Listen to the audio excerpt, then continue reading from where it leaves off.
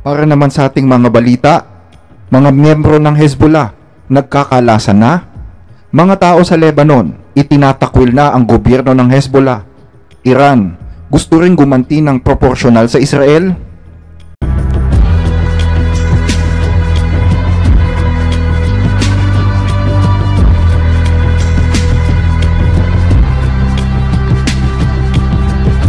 Makalipas ang isang taon mula nang umpisahan nila ang pambobomba sa hilagang bahagi ng Israel, may mga ulat na unti-unti nang nagkalamat ang Iranian proxy na Hezbollah dahil sa sunod-sunod na desertion o pag-iwan ng mga sundalo sa kanilang pwesto. Ito ang ulat na sinabi ng Arabic news online outlet na Elaf nung linggo. Sinasabing nagsimulang mabawasan ang mga miyembro ng Hezbollah mula nang pumutok ang tinaguriang pager explosion crisis kung saan nasa halos isang libong Hezbollah ang nagbitiw sa kanilang tungkulin. Ang Hezbollah pager crisis ay tumutukoy sa sunod-sunod na pagsabog ng libu-libong pager na pag-aari ng Hezbollah sa Lebanon noong Setyembre ng taong 2024. Ang mga pager na ito ay ginagamit ng grupo para sa komunikasyon sa halip ng mga cellphone upang maiwasan ang pag-espiya. Pero ang mga pager ay biglang nagsisabog ng gamitin ito at nagdulot ng malaking pinsala at pagkamatay ng maraming miyembro ng Hezbollah. Isa ring dahilan ng pagkalagas ng kanilang mga miyembro ay ang pagkasawi ng kanilang leader na si Hassan Nasrallah at ngayon naman ay ang ground operation ng Israel sa timog na bahagi ng Lebanon. Ayon sa source, ang mga nagsialisang miyembro ng Hezbollah ay hindi na nag-uulat sa kanilang mga senior officers at hindi na rin naghihintay sa kanilang mga pwesto patungkol sa mga bagong order sa kanila ang ibang mga terorista ay napaulat na tumakas at nagpunta sa Syria kasama ng kanilang mga pamilya upang maiwasan ang konfrontasyon sa mga sundalong Israeli. Upang maipagpatuloy ang laban sa southern Israel, pinipilit na lang ng Hezbollah na magdala ng mga karagdagang puwersa galing sa norte, mga puwersa na galing sa mga bagong recruit. Dahil sa problema ng defection, nahihirapan ngayon ang Hezbollah sa pakikipag-ugnayan sa kanilang mga tao sa ground at ang kinakatakot pa daw nila ayon sa source ng ELAF ay baka kumalat ang problemang ito sa buong bansa. Ang problema ng desertion ay nag-umpisa na rin kahit sa pinaka-elite na hanay ng Hezbollah, ang Radwan Force. Ang Radwan Force ay isang elite na unit ng Hezbollah na nakatuon sa mga operasyon sa Israel at sa mga borders ng Lebanon. Itinatag noong 2006 bilang bahagi ng intervention force ng Hezbollah, pinalitan ito ng pangalan noong 2008 bilang parangal kay Imad Mugniya, isang mataas na opisyal ng Hezbollah na may codename na Radwan.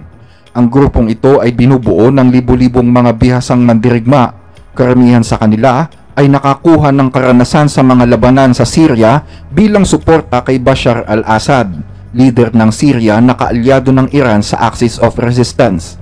Ang Radwan Force ay kilala sa mataas na antas ng pagsasanay at may suporta mula sa Iranian Revolutionary Guard.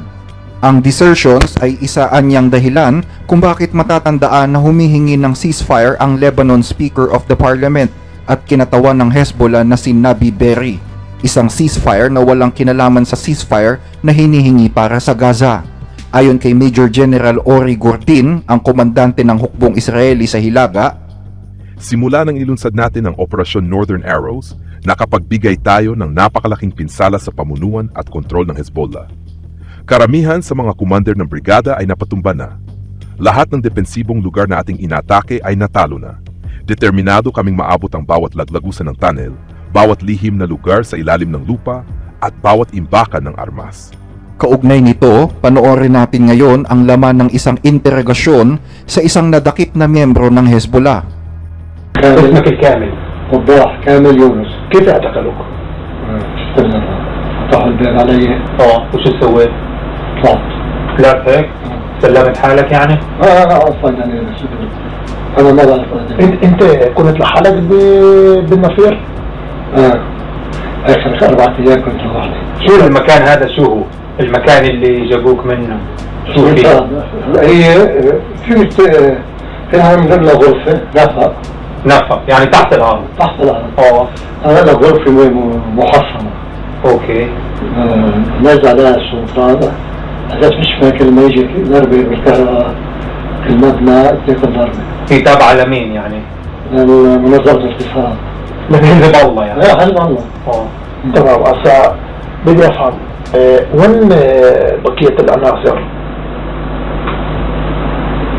مش عارف هذا آخر فترة كان في يعني ثلاثة كان في نقطة ثانية فيها أربعة. قبل ما يهجموا على النقطة اللي عندنا صار آه، استهداف الطيران وأدنى الاتصال بذلك الأربعة أوكي. أنا أربع أشخاص وأنا الاتصال كمان قعد منهم شي ثلاث أيام صار الهجوم على النقطة هول الثلاثة اللي كانوا معي معش أصلا هم كانوا طالعين من عندي قبل بيومين آه ليش بس ليش ولا واحد من كل حزب الله ما ساعدك لما كنت هناك؟ أنا بعتقد بجيلة ما عادش فيها حد منهم شو معناته؟ وين كلهم؟ هربانين هربانين على وين؟ آه لعبت ولعب شردوا يعني كل حزب الله شردوا؟ هلا أغلبيتهم شو؟ كلهم كلهم كلهم؟ هو الأربعة اللي آخر غارة هو مسؤول البقعة ونائبه منه وكل كل واحد أخذ القرار لحاله وشرد ولا كيف؟ آه، من الأساس كانوا مشردين آه ليش نقللهم يعني ولا كيف؟ لا السنة أول صار كان في عندهم آه، خلافات بين بعضهم آه. احكي احكي لي فين كنت غضبان بس ليش ليش شردوا فعلا؟ والله ما بعرف طبعا لا قول الصراحة يعني أنت بتعرف ليش ليش شردوا؟ بلغة حزب الله آه. اللي هي الدين إنه إيش؟ اللي هي الدين شو معناته؟ يعني بلا دين أنا أنا إنسان فايت ليقبض مصاري وواس هذا السبب يعني؟ هذا هيك إحنا على بحزب الله يقولوا عنه. خافوا من إسرائيل يعني؟ بشكل عام؟ شو؟ أكيد طبعا خاف عليه انت انت حسب رايك أغلبيتهم يأكلهم شردوا؟ آه. قول لي بصراحة كل المناطق اللي أنتوا اشتغلتوا منها آه هي كلها تابعة لحزب الله في جنوب لبنان صراحة كون صريح يعني لا آه. بشكل عام حزب الله الأماكن اللي هي اشتغلت منها تابعة إلها كلها أكيد لا شو معناته؟ شو معناته؟ يعني لا. بس بيطلع حزب الله بيشتغل من حولة. هي استراتيجية حولها حزب الله. طنش روح على رمش. رئيس بلدية رمش مع سمير جعفر ما بيطنش. نعمل مظاهرة. هيك حزب الله حزب الله بيرمي بده يقتلنا أولادنا وبده يدمرنا وهيك قوات رضوان يعني اللي كانوا في في جنوب. شو كان هدفهم في آخر فترة يعني خلينا نقول؟ من اللي سمعته كان ال- بالنكهة يعني كان وجودهم بالجنوب انهم يردوا الهجوم إذا صار. وبعدين؟ عندهم الوضع يمكن يتقدموا على الجليل يعني تقدموا جوا إسرائيل يعني. آه. آه. هيك كان هدفهم هذا كانت مخططة بيقول لك لانه اذا صارت المعارك وين أخ- بس فعلا يعني شو اللي صار؟ بعد ما فعلا يعني وينهم؟ بعد ما اغتاب السيد حسن ما عادش بيان حدا منه Upang buhayin naman ang nauupos na moral ng Hezbollah, isang mensahe ang inilabas ng leader ng kanilang Sharia Council na si Muhammad Yazbak. Ayon kay Yazbak, Kayo ang lumalaban-laban sa mga kaaway ni Allah, ang Zionistang Amerikanong kaaway ng sangkatauhan. Kayo ang matagumpay na nagsasagawa ng kanilang layunin. Sa pag-awit ng nandito kami para sa iyo, Nasrallah, pinalalaya ninyo ang lupa at ang mga banal na lugar sa Palestina. Tinutupad ninyo ang nais at plano ni Nasrallah. Si Nasrallah ay naririto at hindi nawawala sa mga puso ng kanyang mga tagasunod.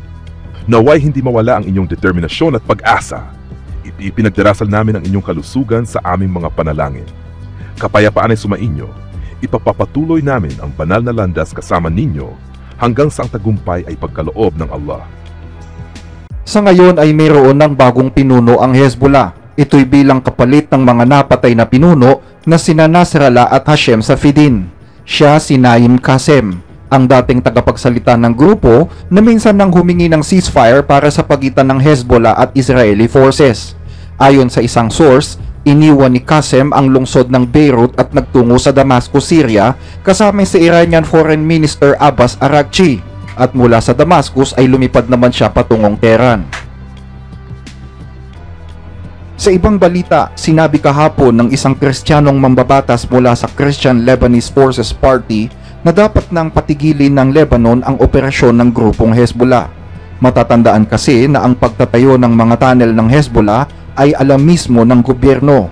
Ayon kay Samir Giagya, ang pinuno ng Christian Lebanese Forces Party, Nagtayo ang Hezbollah ng mga tanel at mga harang sa ilalim ng masusing pagbabantay ng mga opisyal na ahensya ng Lebanon.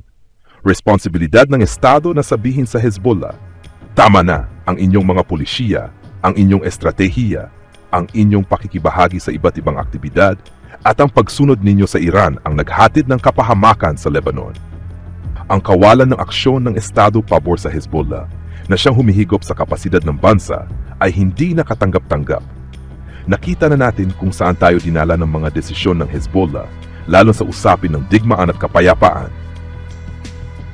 Ayon pa kay Giagya, nang mamatay anya ang leader ng Hezbollah na si Hassan Nasrallah, lahat ng desisyon ay nasa kamay na ng bansang Iran.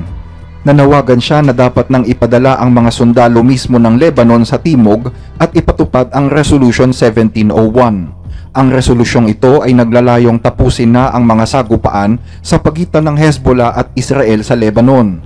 Papupuntahin ang mga sundalo ng Lebanon sa timog at paaatrasin ang mga sundalong Israeli ng walang labanan. Paaatrasin na rin ang Hezbollah at ipag-uutos na itigil na nito ang pag-atake sa Israel. Kasama ng mga sundalong Lebanese ang mga miyembro ng UN Peacekeeping Force or UNIFIL. Sinabi naman ng isang diplomat mula sa bansang France na dapat nang tapusin ng Lebanon ang mahigit dalawang taon na walang pangulo ang bansa. Kailangan anyang maghalal na ang Lebanon ng presidente nakakatawan sa kanilang bansa sa mga kasunduan. Hindi anya katanggap-tanggap na walang presidente ang Lebanon. Walang pangulo ngayon ang Lebanon dahil sa matinding sigalot ng mga partidong pampolitika at sa impluensya ng mga puwersa sa labas ng bansa partikular na ang Iran at ang Hezbollah na sumusuporta sa ilang mga kandidato. Laban yan sa mga kaalyadong partido ng US at ng Saudi Arabia. Mula nang matapos ang termino ng pinakahuling naging presidente sa Lebanon na si Michael Ayoun noong October 2022, nagkaroon ng matinding tensyon sa pagitan ng mga paksyon na suportado ng Iran at Hezbollah laban sa mga paksyon na suportado ng US at Saudi kaya't nabigo ang parlamento ng Lebanon na pumili ng kanyang bagong pangulo. Sa ibang balita naman, sinabi ni Iranian Foreign Minister spokesperson Ismail Bagay na gagamitin ng Iran ang lahat ng available na kagamitan nito para makaganti sa Israel. Iran will use all available tools to deliver a definite and effective response to Zionist regime gagamitin ng Iran ang lahat ng mga posibleng pamamaraan upang maghatid ng depinido at epektibong tugon sa rehimeng Zionista. Pero depende rin ito anya sa degree ng pinsala na nagawa ng Israel sa kanilang bansa. Sinabi niya ito sa isang televised news conference bagaman hindi siya naglabas ng anumang karagdagang detalye. Ang kanyang pahayag ay sinigundahan naman ng pinuno ng Islamic Revolutionary Guards Corps na si Hossein Salami kung saan sinabi ni Salami na hindi mailalarawan ang mapait na kahihinatnan ng ginawa ng Israel. Tulad ni Bagay ay hindi rin nagbigay ng anumang detalye tungkol dito si Salami. Sinabi naman ni Iranian President Masoud Pezeshkian na hindi anya sila naghahanap ng gulo pero dapat din nilang ipaglaban ang karapatan ng kanilang bansa na ang tinutukoy ay ang pagganti sa Israel. Sinasabi nila ito sa kabila ng pahayag na wala naman daw naging masyadong damage ang ginawa ng Israel. Kaugnay nito, nagkaroon naman ng pag-uusap sa telepono ang Iranian Foreign Minister at ang Foreign Minister ng Saudi Arabia na si Prince Faisal bin Farhan kung saan ipinaliwanag ni Farhan ang kahalagahan ng pag-iwas sa pagpapalala ng sigalot na pwedeng makasira sa seguridad ng Middle East. Handa naman umano ang Israel sa bantang ito. Sa katunayan ay sinabi ni Israeli Chief of Staff Lieutenant General Herzi Halevi Ginamit lamang namin ang ilan sa aming kakayahan. At bukod dito ay mayroon pa kaming ibang kayang gawin. Tinamaan namin ang mga strategic sites ng Iran at tinitingnan namin ngayon kung anong mga susunod na pangyayari pagkatapos nito. Handa naman kami sa lahat ng mangyayari. Bilang tugon sa banta ng Iran, sinabi naman ng US Ambassador to the United Nations, Linda Thomas Greenfield, na wag nang subukan ng Iran na gumanti dahil tiyak nakakaharapin nito ang isang matinding kahihinatnan. Idinagdag pa ng ambasador na hindi anya mag-aatubiling kumilos ang Estados Unidos para ipagtanggol ang kanilang sarili. Pero wag din umanong magkaroon ng kalituhan dahil ayaw talaga ng Estados Unidos na magkaroon ng karagdagang eskalasyon. Sa halip ay naniniwala sila na ito na ang dapat na maging katapusan ng direktang palitan ng putok sa pagitan ng Israel at Iran. Kaugnay pa rin ng pag-atake ng Israel, sinabi ng Iran na isa pang individual ang nasawi sa kanilang pag-atake. At sa pagkakataong ito ay isang gwardyang sibilyan na nagngangalang Alaverdi Rahimpur. Siya ang itinuturing ngayon na ikalima sa mga buhay na naging casualty ng pag-atake. Kasabay nito ay nagreklamo naman ang bansang Iraq sa United Nations sa walang pahintulot na paggamit ng Israel sa kanilang airspace upang makadaan papuntang Iran. Ipinakita ng Iraq ang ilang mga ebidensyang magpapatunay nito gaya ng booster portion ng missile na ginamit ng Israel na natagpuan sa loob ng kanilang teritoryo. Idinamay din nila ang US bilang kasabwat sa di umano'y illegal na ginawa ng Israel.